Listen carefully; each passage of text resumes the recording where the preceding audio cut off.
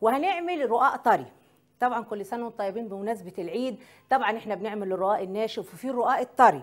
الرقاق الطري اللي هو ده أنا طبعا مكلفتاه لأن ده بينشف بسرعة قوي. يعني لما تجيبيه لازم تكلفتيه كده. أهو.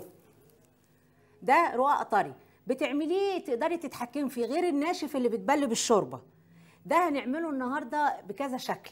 ده ممكن تعمليه تاخديه مع العيال ياخدوه المدرسة تعمليه لجوزك ياخدوا سندوتش كده ياخده معاه في أي حتة تديه للعيال ياكلوه في المدرسة تعمليه في البيت بيبقى حلو قوي قوي ممكن تحشيه أي حاجة عندك فايدة.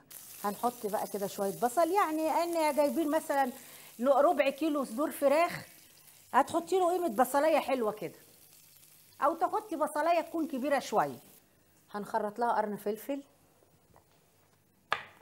ده حراق ممكن تحطي حراق وممكن ما تحطيش. لو هتعمليه لعيال صغيرة ما تحطيش فلفل حراق. كفاية قوي تحطي إيه؟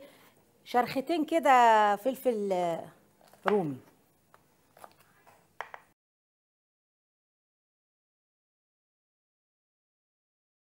فلفل كتير. فلفل أسود. ممكن تضيفي لها أي خضار. أي نوع خضار تضيفيه لها.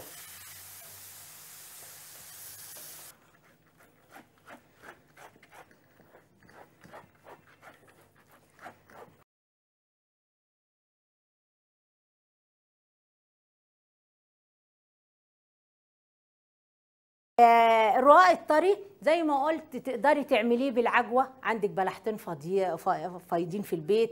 عاوز تشتري بلح لأن إحنا في موسم البلح والبلح كتير. احشيها بأي حاجة. بفراخ بلحمة مفرومة عندك حتة لحمة بايتة في التلاجة. اعمليه للعيال وقوري لهم واديهم. حاجة زي الفل وحلوة قوي.